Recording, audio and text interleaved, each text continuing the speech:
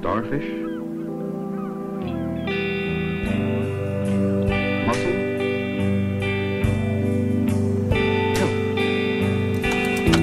A trip to the beach is an adventure in discovery. Now look out at the ocean surface.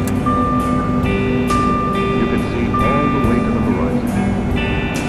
Beneath this great water surface is another world of animal and plant life, of chemicals and minerals, an ocean floor full of mystery.